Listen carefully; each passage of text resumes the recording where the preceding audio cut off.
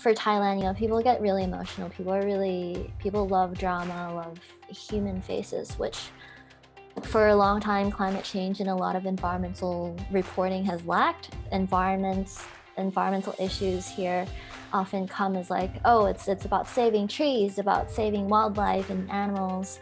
And so people don't really see that human face to to the stories, which you know we are beginning to get more of that of like natural disasters and people losing homes. And, and even for public media that's that's mainstream media they they report on natural disasters or or irregular um, weather patterns but they don't really make that connection for people. They don't really talk about it in like that climate angle but rather as isolated events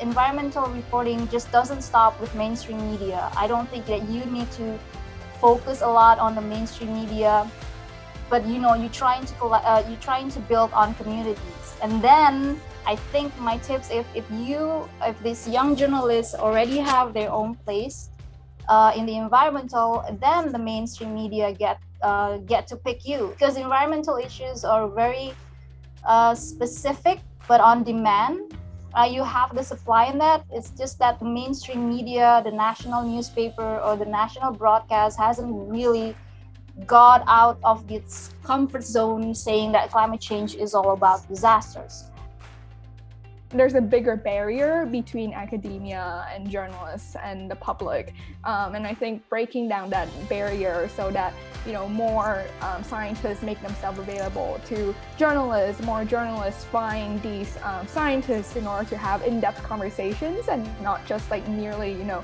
quoting one sentence that they write on a press release um, in ways that would engage readers more. I think that's very important. In the Philippines, there is a lot of um, NGO involvement um, and networks that are more vocal about these issues that journalists can quote, and so we find more articles there that um, quote from a diverse perspective and community voices, etc. Um, but then in other countries, Vietnam included, um, you're starting to see some NGOs, but there's not enough diversity of them working in different fields um, and doing different things surrounding climate change. If there's more synergy and connection between um, these different Southeast Asian countries, and maybe if journalists from Vietnam can access NGO voices from the Philippines, obviously it's still a different national context, but there are still some overlaps. And hopefully that's a way um, to diversify and increase the quantity of sources that journalists can go to to approach climate change in different ways.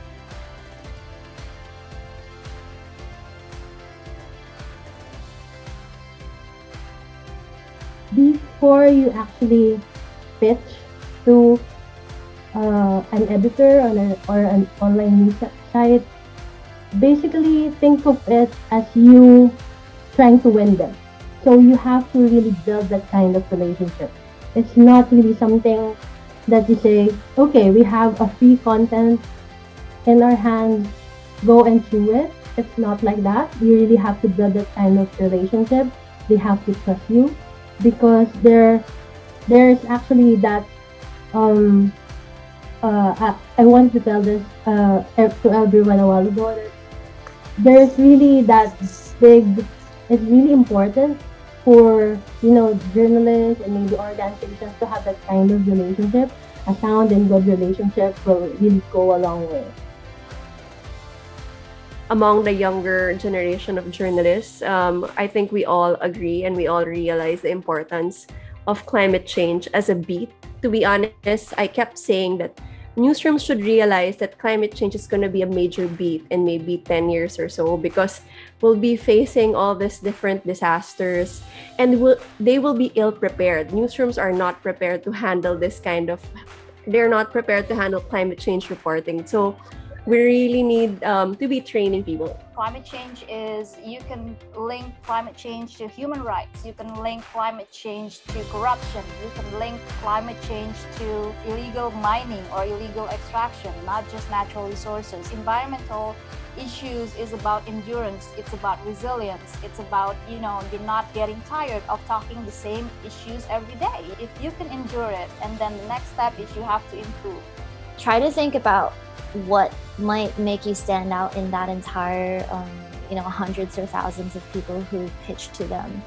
Um, what about your land natural landscape that makes it interesting and, and makes you um, specifically you the one who would be fit to write it um, and just that like bringing a new perspective to the table you know whether it's it's with um, the local indigenous culture or like the weird climate patterns going on and dive deeper and say like hey look this is a climate topic.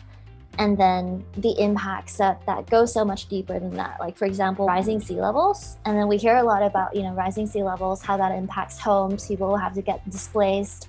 But something i had found out in my in my um, story was that the children in that area were actually also like they developed social anxiety because um, the schools they with less students like rising sea levels and people move away so the school has less students.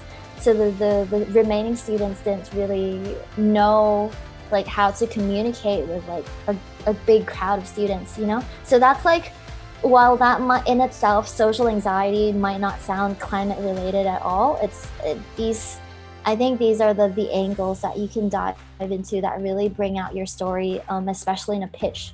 And if you like watch watch like vox style videos you know they, they always form such beautiful connections where it's like what does what does mental health have to do okay or like what does social anxiety have to do with rising sea levels and that makes people curious